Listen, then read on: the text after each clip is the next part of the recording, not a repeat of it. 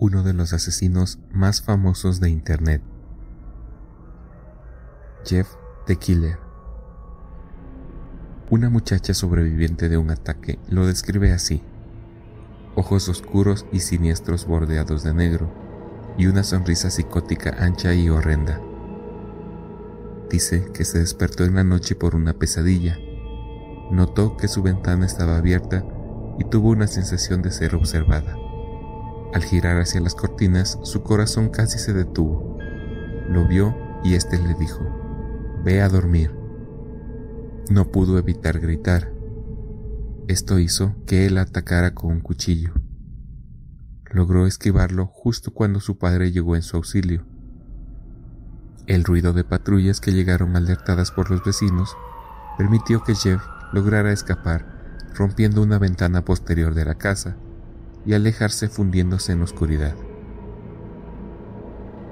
Para entender las motivaciones de sus actos, tendremos que retroceder un poco más en su pasado. Margaret era su madre y Peter su padre. Tenía un hermano, Liu. Acababan de mudarse a un nuevo vecindario por el trabajo de su padre. El primer día en la nueva escuela, él y su hermano fueron acosados por tres chicos. Primero agredieron a Liu. Jeff quiso ayudarlo, pero lo amenazaron con una navaja. De pronto, sintió un poder oscuro que brotaba de su interior. Él solo dejó severamente lastimado a los tres chicos. Muñecas rotas, brazos apuñalados y cuellos apretujados. Jeff y Liu huyeron del lugar. Al día siguiente, la policía llegó a su casa. Cuando Jeff estaba por confesar su culpa, Liu apareció con un cuchillo en la mano y se inculpó de la agresión. Nada pudo hacer para convencerlos de lo contrario. Días después, para tratar de en algo olvidar la situación, aceptaron ir al cumpleaños del hijo de unos vecinos. Jeff se dejó llevar y disfrutaba jugando con los otros niños cuando de pronto aparecieron Randy, Troy y Kate, los chicos de la agresión de hace unos días. La paliza que le dieron a Jeff fue brutal. Puños, patadas, heridas de navaja y hasta una botella de vodka rota en la cabeza. Parecía su fin. En ese momento algo sucede dentro de Jeff. Todo pensamiento piadoso ha muerto. Toda represión racional ha desaparecido excepto el deseo de la muerte, la capacidad de engendrar dolor por el placer de saborear el sufrimiento ajeno.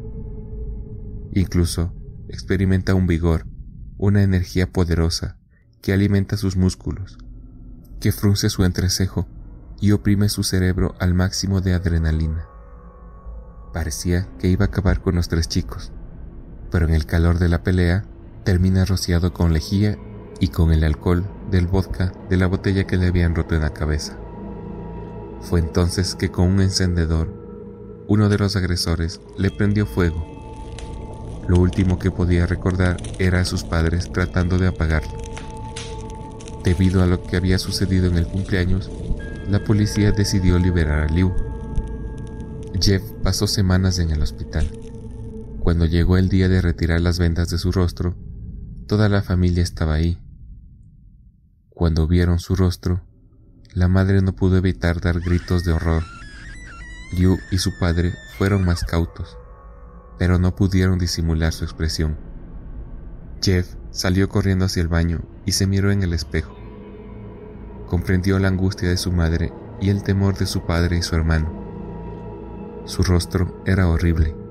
Sus labios estaban quemados, semejantes a una sombra profunda de color rojo la piel que se extiende sobre su faz es blanca como la nieve, y su pelo chamuscado ofrece a la vista el negro marchito que reemplazó a su cabellera castaña.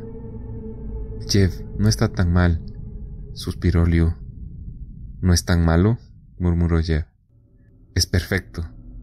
Su familia quedó completamente sorprendida. Jeff comenzó a reír incontrolablemente. Sus padres notaron que sus manos temblaban había perdido la razón. Aunque los médicos no quisieron ser definitivos con eso, lo dieron de alta y les dijeron que si en unas semanas continuaba con ese comportamiento, le harían una evaluación. Más tarde, a mitad de la noche, la madre de Jeff se despertó por causa de un sonido proveniente del cuarto del baño. Abrió la puerta y lo que vio fue horrendo. Jeff había tomado un cuchillo y se había tallado una sonrisa de oreja a oreja, surcando sus mejillas exageradamente. La madre de Jeff notó sus ojos, rodeados de negro.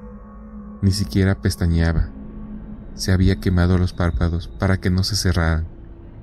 Retrocedió lentamente, corrió a la habitación y sacudió a su esposo. No hubo tiempo de reaccionar. Jeff los asesinó con un cuchillo. Luego fue por Liu, lo tomó del cuello y lentamente lo asfixió, mientras le decía, Shh, ve a dormir. De este creepypasta nacieron otras sagas como la de Nina y Jane the Killer, pero esas son otras historias que merecen su propio video. Gracias por llegar hasta aquí. Espero les haya gustado y lo compartan con sus amigos para llegar a más seguidores. No olviden que pueden encontrar más contenido en mis otras redes sociales, Facebook, Instagram y TikTok. Hasta la próxima.